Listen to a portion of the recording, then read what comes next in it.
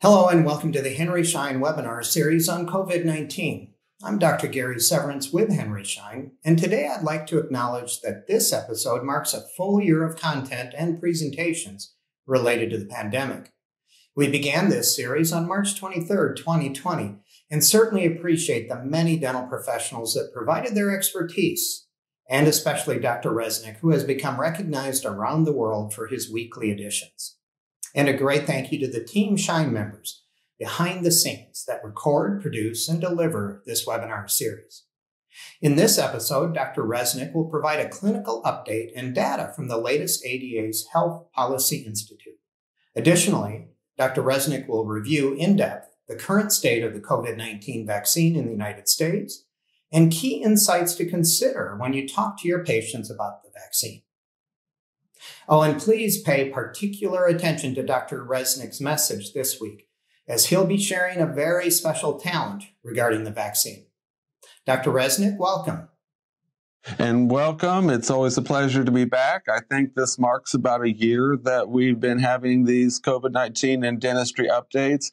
And I'm actually pleased to say that today's update is going to be by far very positive. So, having some positive news, some uplifting news is, I think, something important for our profession. It's something important for our families and our teams and, and those that we love and work with. So there is some information from the ADA's Health Policy Institute data that I'd like to go over. And what they found is that dental offices average patient volume has returned to about 81%. So it is slowly increasing of pre-pandemic levels and staffing is at 99% of levels before the pandemic. If you noticed how the job uh, levels increased last week, a lot of that was based on travel and hospitality. So we're beginning to see a little bit of normalcy return to our world. And I think that's really, truly important. What have been some of the dental impacts of this pandemic? Well, we know there's been a lot of preventive visits that have been missed. We know there's been a lot of work that's been put off, but we are have the technology, we have the infection control uh, protocols in place. We know that dental hygienists and dentists are very low when it comes to the percentage of our profession that has COVID. That goes along with dental assistants too. But we've seen some dental manifestations. 71% increase in teeth grinding or clenching, there has been a lot of stress in our worlds. And so things that we would expect to see with stress, such as an increase in chipped teeth, an increase in, in cracked teeth, and even temporomandibular joint disorder um, uh, symptoms have really been on the increase. So we need to be able to address these, and we are able to address these. And by addressing some of these issues and getting our patients back into our preventive care, we'll be back up to 100% of pre pandemic levels pretty soon. The polling data has, sort of gives us a barometer for how the pandemic stress is impacting our patients. And this is according again to the Health Policy Institute data. The increase over time suggests stress related conditions have become substantially more prevalent since the onset of COVID 19. Remember, we had to shut down, we had to figure out how to work without doing aerosol generating procedures, all those things that we're able to do now safely. Over the past month, the most common measure taken by dentists to maintain financial sustainability was raising fees.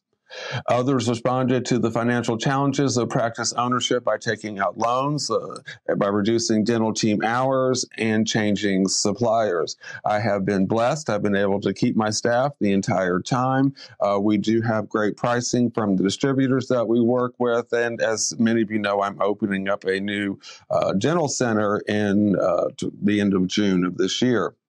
Dentists in large group practices have had to take fewer measures to maintain financial sustainability compared to uh, family members or our colleagues that are in practicing solo. More than a third of dentists are practicing some form of teledentistry, and I'm actually getting ready to begin a teledentistry uh, project based on our program. Most commonly used for teledentistry is to triage emergencies, do post-op and follow-up care, and consults. It's also a great way to stay in communication with your patients. Approximately 10% of dentists who are enrolled as Medicaid providers prior to the COVID 19 pandemic have since disenrolled. And that is a little bit of discouraging news because there are many areas in our country where finding a Medicaid dental provider is a concern. And as even though I want to stay positive, we have to remember the story of Deamonte Driver, who was not able to find a Medicaid eligible Medicaid uh, dentist. And so that is a concern. We're going to have to do work in the public health sector to try to get those numbers back up. Despite speculation that there might be some frequent mask wearing uh, impacts on dental health, that mask mouth, we really haven't seen it. The survey found no meaningful change in the prevalence reported conditions such as bad breath, dry mouth compared to pre-pandemic levels. Consumer confidence in returning to the dental office hit a new high with 90% reporting to have already been back or ready to go. So it's us to up to up to us to make those statements to our patients. We've taken all these efforts. It's time to come back. Let's make sure that you realize you can't be healthy without oral health. So how many vaccinations have we seen in the United States so far?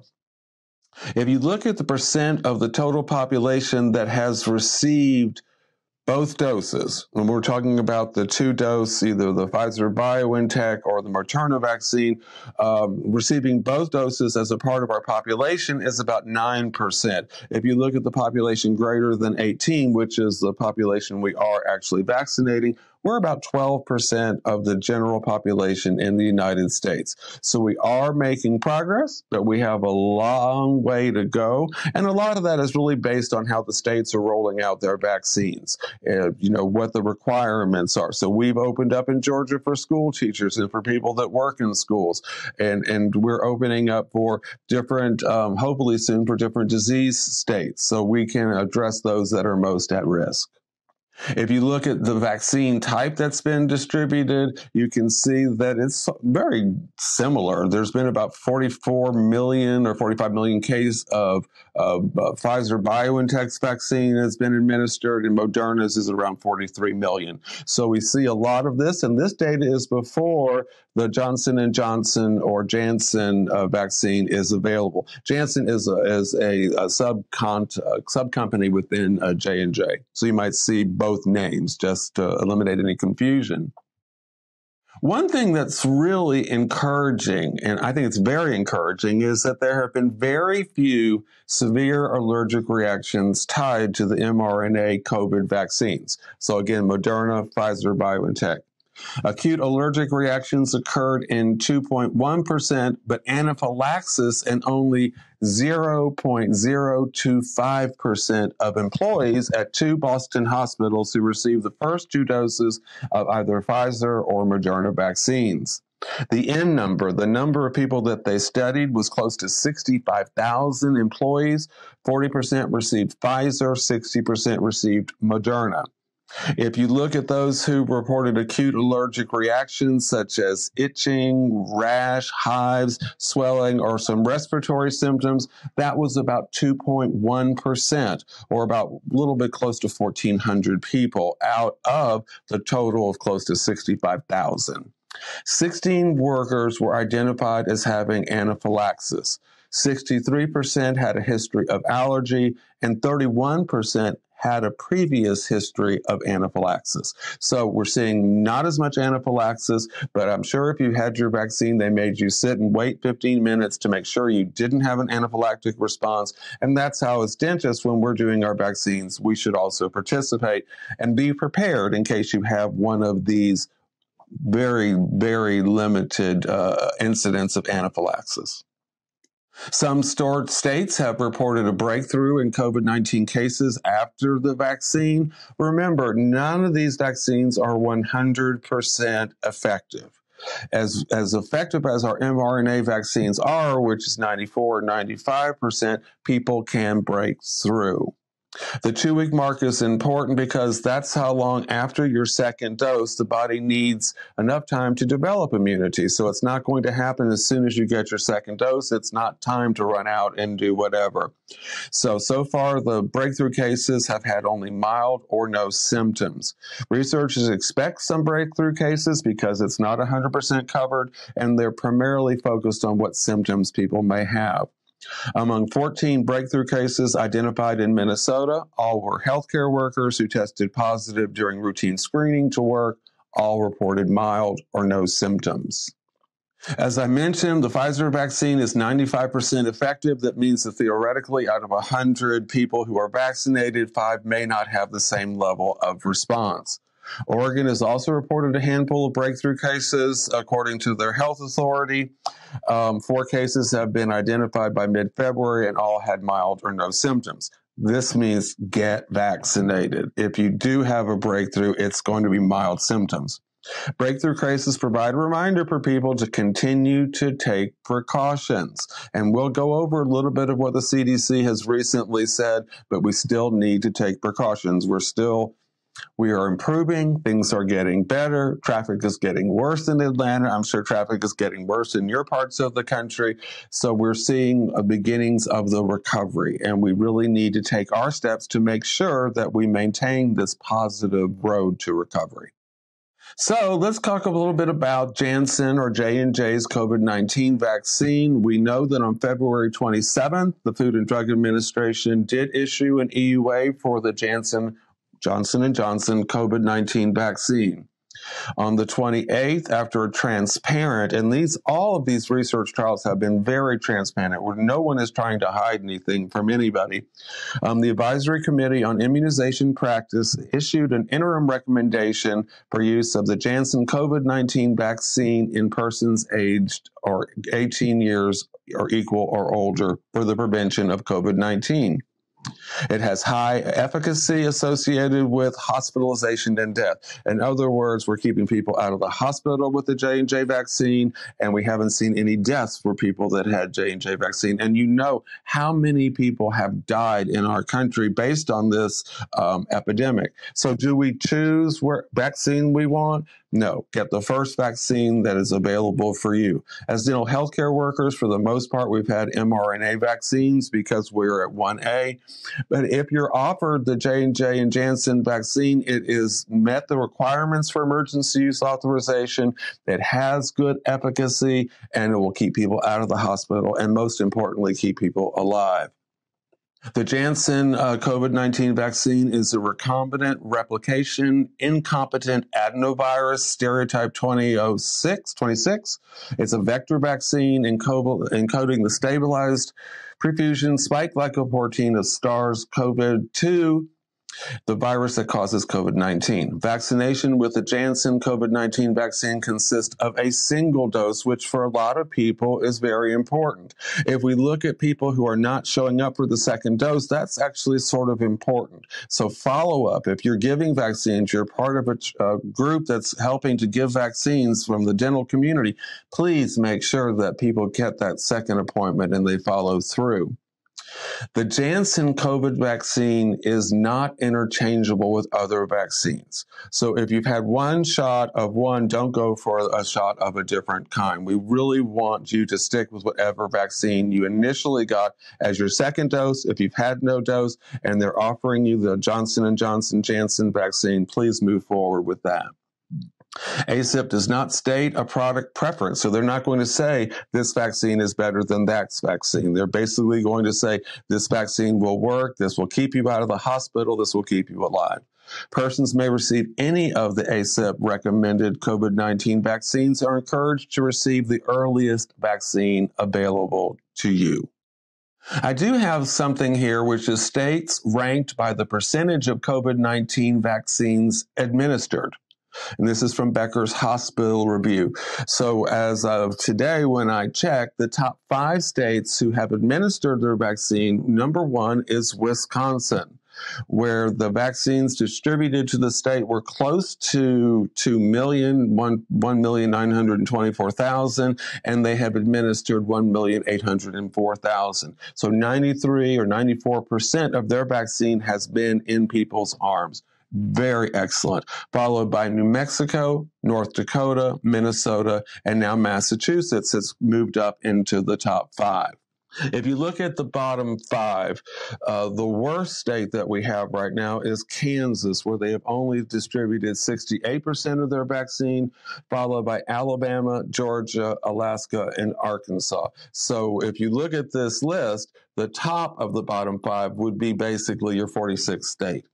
And my concern is it's based in the South and the Southeast, and these are areas that always are hit harder by disease states, whether it is hypertension, whether it is certain types of cancer, whether it's HIV disease these states, with the exception of Alaska, tend to have higher numbers. So it's really important that the steps that we've taken in Georgia to now vaccinate teachers. I can't go home on the interstate without passing signs that say mass vaccination sites are open. So we really need to help communicate to our patients the importance of getting vaccinated.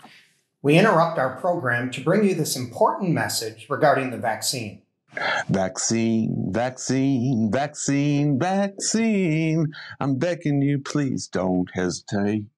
Vaccine, vaccine, vaccine, vaccine. Cause once you're dead, that's a bit too late.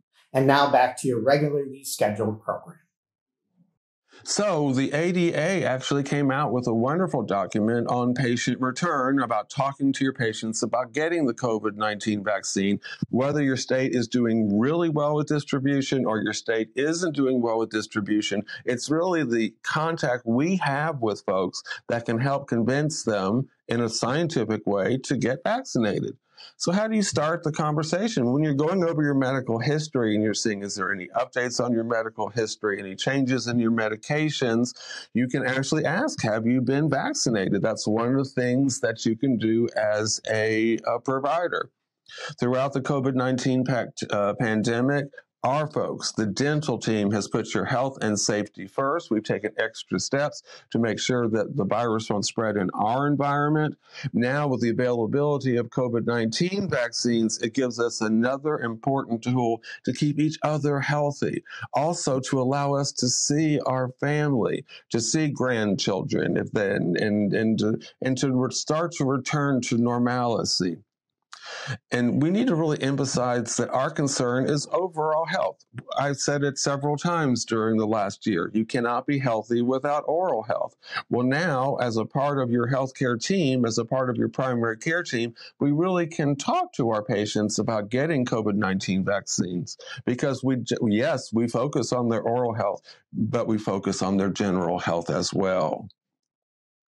Provide facts on vaccine safety and effectiveness. There's handouts that are very easy to find that you can give to your patients. People are more receptive to information if it's delivered by a trusted messenger. So get all members of the dental team involved.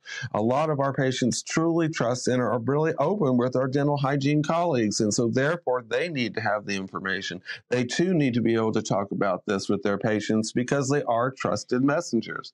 Your patients want to know what you think and may trust the information you share with them because it came from you. So it came from us.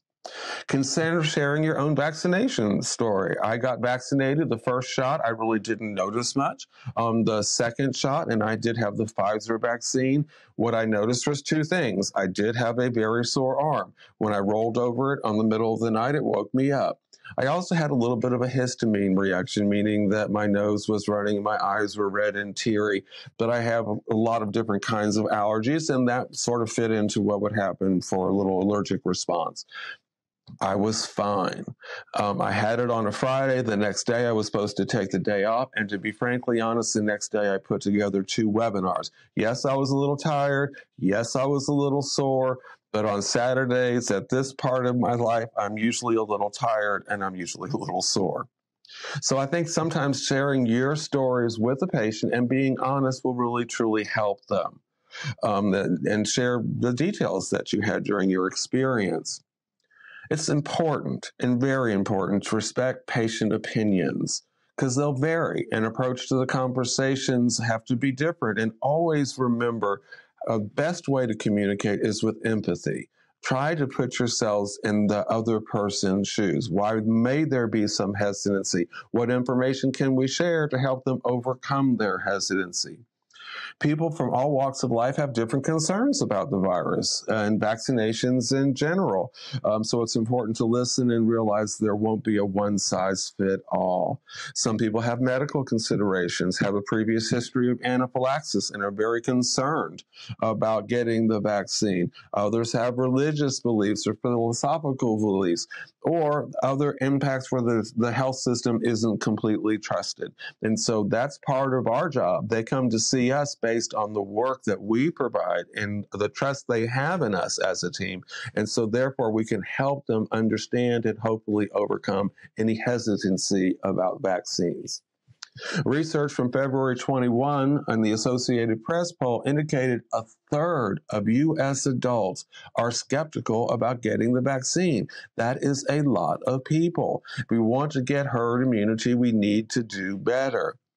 And so, with factors such as a person's age, where they live, their levels of education, race, political affiliation, etc., impacting their decision making process. When we're talking about vaccines, it's not our, our job to judge, it's our job to educate.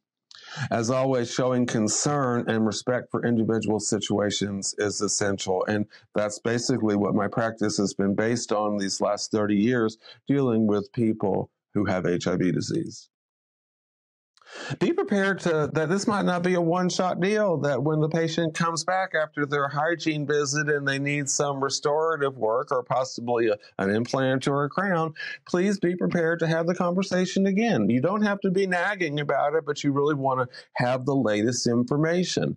So when i put these presentations together i put the i actually the morning of i'm adding new information. So when the patient comes back two three weeks later you'll have additional information that will be able to be uh, helpful to helping overcome the, the barriers that we might see.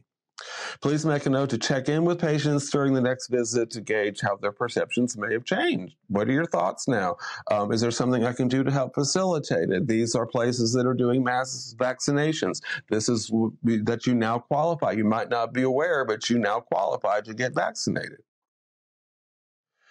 Also, it's important to stress the importance of our infection control, that the vaccine protects the person who got it, but we still don't know if others who are vaccinated can spread the virus to others, which is why in my hospital, we still wear masks all the time. It's a wonderful opportunity to talk to our patients about what really matters for their health, their safety, and that's important.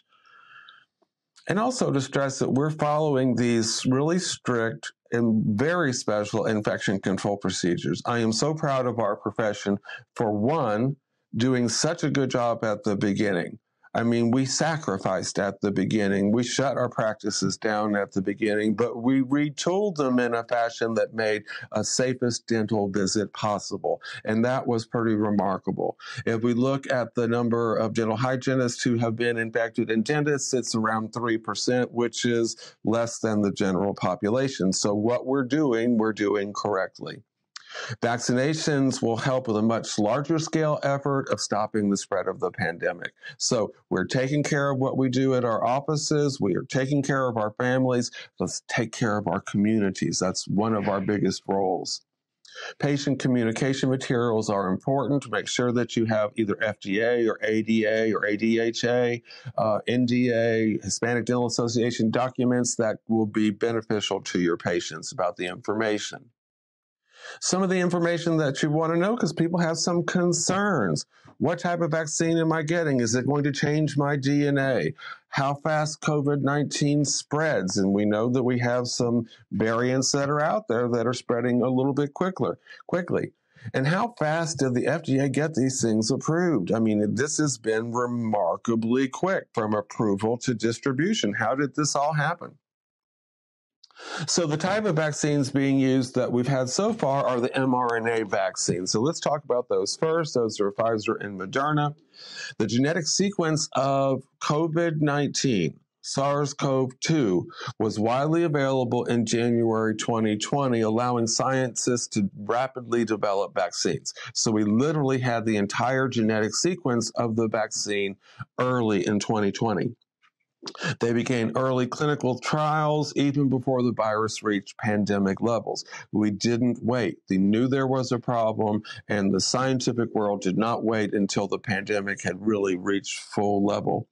Another advantage of mRNA vaccines is that there is no possibility that they contain live virus. There is no live virus in an mRNA vaccine. You cannot get COVID from an mRNA vaccine. It's very important to stress that because people who get the flu vaccine sometimes say, well, they gave me the flu. Well, you might have had a flu vaccine, didn't have enough time to develop the antibodies and we're, weren't, we weren't masking at that period of time and ended up getting the flu. The vaccine does not, the flu vaccine does not have live virus. It could not give you the flu. It's the same way with COVID. And one of the things I think is remarkable, just from an observational point, the flu crisis that we see every year didn't happen this year. Why? Because we took so many important personal infection control measures. We took personal responsibility. We wore our mask when we went to the grocery store. We ate outside if we were going to be eating. We did a lot of takeout to support our local restaurants and communities. So we did a lot to protect ourselves. And what happened? No flu this year, which is really remarkable. How do mRNA vaccines work? Well, the mRNA vaccine tells your body how to make a spike protein found on the outside of the virus. Remember, that's what we're targeting are, targeting are these spike proteins. Your body responds to that protein as an enemy and defends itself by producing antibodies.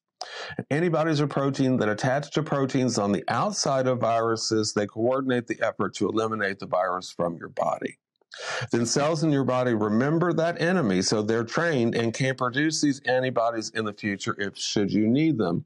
The technology to create these mRNA vaccines didn't occur last year, didn't occur the year before. We've been studying this now for 10 years. If you look at the J&J or the Janssen recombinant vaccines, that's a little bit of a different kind of vaccine. It teaches your body how to fight the virus is similar to the way mRNA vaccines, but has a different starting point. Instead of injecting already produced mRNA into your system, the vaccine prompts your body to make the mRNA. So again, it's not live virus. You're not going to get COVID from the J&J vaccine, but it's going to teach your body how to make the mRNA um, uh, to uh, on its own. So it's instead of just injecting the mRNA, now it's going to produce its own mRNA. The weakened virus, which includes DNA from the spike protein, not live virus, enters the cell nucleus. The cell responds by making mRNA for the spike protein. So again, this is not giving you COVID. This is creating something that is going to attack those spike proteins. From there, like the other COVID 19 vaccines, the spike protein exits the cell and stimulates the immune response. So we have two parts. Remember, we have the antibody formation and then we have the T cell response, which happens later. Both Pfizer and Moderna phase three clinical trials, which began before the end of July, included 30 to 40,000 participants. This pandemic hit quickly, it hit fast. And so because it hit so fast, we were literally able to come up with vaccines that would help address it. J&J's phase 3 clinical trial began in September of 2020 and included over 40,000 participants. And they're actually they did their study not just in the US, but they did it in South Africa and other places as well where some of those variants were. The clinical trials finished much more quickly than normal due to the quick spread of the virus and high infection rates. So we were literally able to have enough people to study this. Usually in other vaccine trials, there are so few infections, it takes longer to see if the vaccine will work. So we're in this crisis situation. One of the advantages, I hate to say it, made developing the vaccines easier and made it faster. We have newer technology, we have existing technology, and we have the genome. How did the FDA and vaccine process work so fast? Well, you might have heard about the Warp Speed program from an earlier uh, webinar we've done or from something that you've read. The FDA review process for vaccine safety and efficacy was thorough and completely transparent. All of the data is online and available. Typically, vaccine manufacture does not begin until the receipt of an FDA approval. How, because of the Warp Speed initiative and because of the urgent need, our government ordered and paid for hundreds of millions of doses in advance. Even before we knew they worked, we were producing multiple millions of doses. This meant that the drug companies could ship doses of vaccine as soon as the FDA authorized it. So you may have heard recently that the president has authorized the United States to buy 100 million doses of the J&J vaccine recently. Some good news. The Pfizer BioNTech's coronavirus vaccine appears to be highly effective against a more contagious variant of the virus first discovered in Brazil, which is really causing a lot of concern in Brazil. And this was published in the New England Journal of Medicine this week. The study used blood samples from vaccinated individuals against an engineered version of the variant. The samples were taken from participants in Pfizer BioNTech's late stage clinical trials for the vaccine and were obtained between two to four weeks after they received the second dose.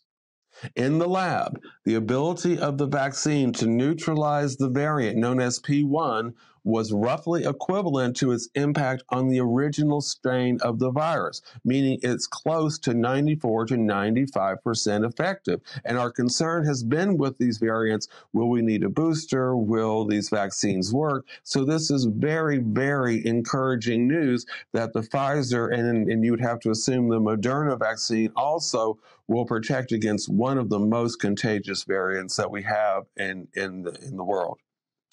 The vaccine had over 95% uh, efficacy rate, as I've mentioned, so we're really talking a significant finding here. There's also some new treatment news, which is on the positive side. The U.S. pharmaceutical company Merck, which actually is helping J&J produce vaccine, and to see two enormous pharmaceutical companies work together to produce has been really a remarkable uh, effort. But Merck, who's their their actually their vaccine didn't come through with good results, but they have developed an antiviral drug with Ridgeback Biotherapeutics, and it showed a quicker reduction in infectious virus in its phase 2A study amongst participants with early COVID 19.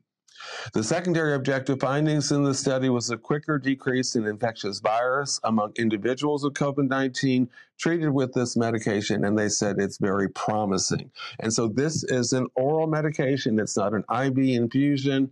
The antiviral is currently being tested in phase two, phase three trials, and it's set to be completed in May. Again, excellent news. And I'm, I'm really focusing on that in today's webinar.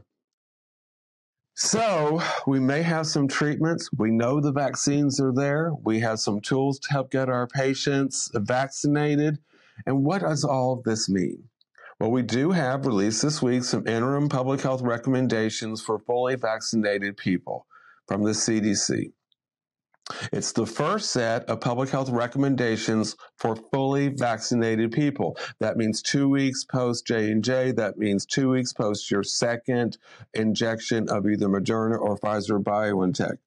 The guidance will be updated and expanded based on the level of community spread, the proportion of the population that is fully vaccinated, and the rapidly evolving science around COVID 19. I thought the science around HIV went really quickly, to be frankly honest. The science around COVID 19 has been better than quick, it's been remarkable. For the purposes of this guidance, people are considered fully vaccinated for COVID 19 greater than or equal to two weeks after they have received their second dose of a two dose series, or greater than or equal to two weeks after they have received a single dose vaccine. Currently authorized vaccines in the U.S., as we have been discussing, are highly effective at protecting vaccinated people against symptomatic and severe disease. Present evidence suggests that fully vaccinated people are less likely to have asymptomatic infection and potentially less likely to transmit SARS CoV 2 to others, which is again great news. How long vaccine protection lasts and how much vaccines protect against emerging variants are still under investigation. But as I just mentioned, we have some good news about the P1 um, variant that was initially discovered in, in Brazil. Until more is known and vaccination coverage increases, some prevention measures will con- continue to be necessary for all people, regardless of vaccination status. What can fully vaccinated people do? They can visit with other fully vaccinated people indoors without wearing a mask or physical distancing. You can hug your grandchild if you're fully vaccinated. You can have a small, intimate dinner party. Um, I've been redoing my house during the last year. I can have people over to come see it that I know are fully vaccinated. You can visit with unvaccinated people from a single household, and that's important. This is not bars, a single household who are at low risk for severe COVID 19 disease indoors without wearing a mask or physical distancing. Refrain from quarantine and testing following a known exposure to someone who is asymptomatic.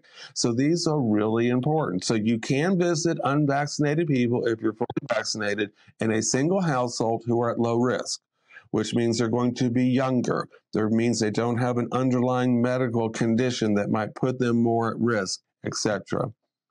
And I think it's also important that if you come in contact with someone who has asymptomatic disease, you do not need to quarantine any, quarantine any longer. For now, fully vaccinated people should continue to take precautions in public, like wearing a well fitted mask and physical distancing. Wear masks, protective physical distancing, and adhere to other prevention measures, including hand washing, when visit with unvaccinated people who are at increased risk for severe COVID 19 disease or who have an unvaccinated household member who as, is at an increased risk for COVID 19. So I'm calling it seasoned since I'm approaching that age. I'm not calling it older any longer. So greater than 65, people who are pregnant, and people with underlying medical conditions such as diabetes, cardiovascular disease, or cancer.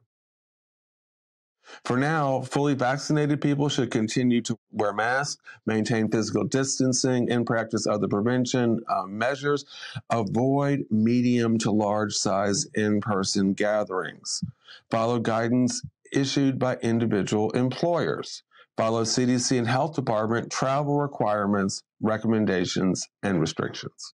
So today has been more of an uplifting. We can now visit our family members. We can now do more, but we still need to remember that we are not over this pandemic yet.